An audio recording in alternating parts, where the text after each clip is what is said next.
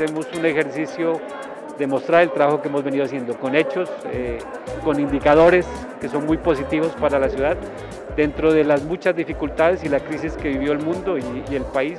Podemos decir que hemos cumplido, lo vamos a ir cumpliendo. El próximo año va a ser un año de ejecuciones.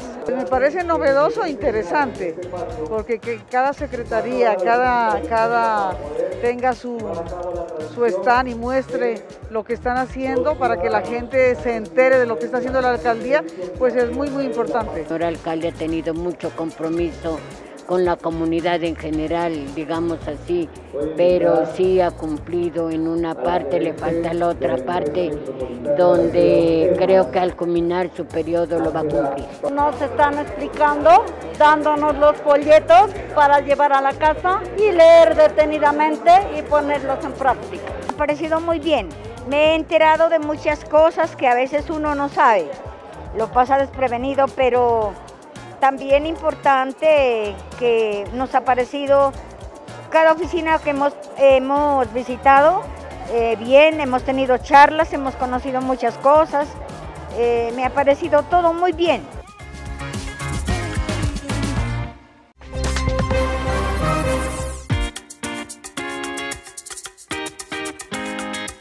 Es muy importante poder fortalecer este tipo de técnicas ancestrales incluso, ¿no? Para nosotros como Secretaría de Cultura, Subsecretaría de Cultura Ciudadana, es una gran oportunidad estas articulaciones donde podemos mostrar esta, esta gran técnica, esta técnica tan bonita que le apunta al tejido en guanga, pero lo más importante es que este tejido en guanga más adelante se convierte en un tejido de sueños y de valores ciudadanos también. Seguir fortaleciendo el tejido de la guanga, seguir eh, tejiendo sueños, esperanzas, ilusiones, no solo es de pronto lo material, sino lo espiritual, que de, a través de ese tejido en la guanga, nuestras mujeres y también hombres expresan el sentir, la imaginación, el pensamiento, hacerlo más visionario y todo lo que ellos a través de, de ese pensamiento, de esa imaginación, lo tienen en la mente, pues lo plasman en el tejido, ¿no? Este proyecto seguimos trabajando porque tenemos mm, mamitas que, que, a veces no, no tienen para comprar el, la lana o las cosas, entonces, y el cabildo pues tampoco tenemos recursos porque siempre hemos trabajado así con, con rifas, con bingos.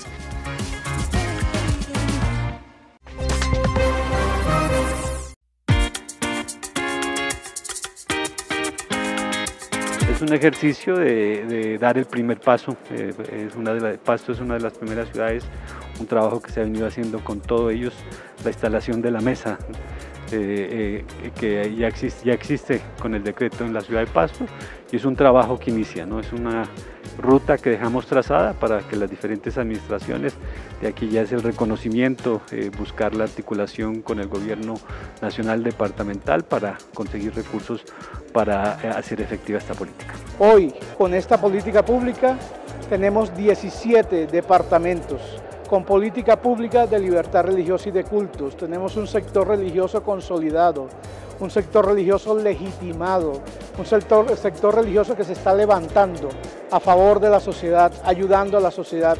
Se está uniendo el católico, ortodoxo, judío, musulmán, por trabajar en beneficio del bien común. Caminamos, navegamos en el mismo barco.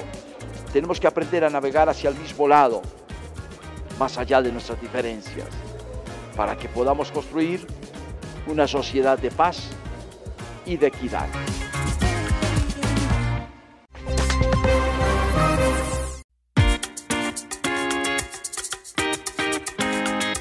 Estamos entregando los primeros certificados del proyecto de semillero de liderazgo, el cual venimos ejecutando en articulación con la Secretaría de Educación y la, y la Dirección de Juventudes. Este es un proyecto en el cual se vincularon aproximadamente 50 niños de diferentes instituciones, en el cual eh, vimos el interés de ellos por comenzar a liderar des, desde sus territorios. Gracias a las reuniones y capacitaciones que nos dieron de desarrollo comunitario, en las cuales nos orientaron para poder trabajar eh, para poder trabajar y formarnos para ser parte de las juntas. Eh, quiero progresar como líder en mi vereda, eh, gestionar muchos proyectos para ver las mejorías y ver una comunidad unida. Aprendimos lo, que es, de lo que trata las juntas de acción comunal, cómo están conformadas, qué hacen. Eh, nos dio una experiencia pues para ayudar a nuestra comunidad en, en los problemas y ayudar a solucionar que fue muy importante para mí porque aprendimos muchas cosas y, y, y, varios conocimientos que yo pude poner en práctica en mi comunidad. Sabemos que serán nuestros próximos líderes, sabemos que serán aquellos jóvenes y señoritas que estarán al frente de una comunidad rural que tendrá que exponer sus proyectos, sus programas ante las juntas de padres de familia, ante las juntas de acción comunal y todas las asociaciones y agremiaciones que se dan en nuestro sector rural.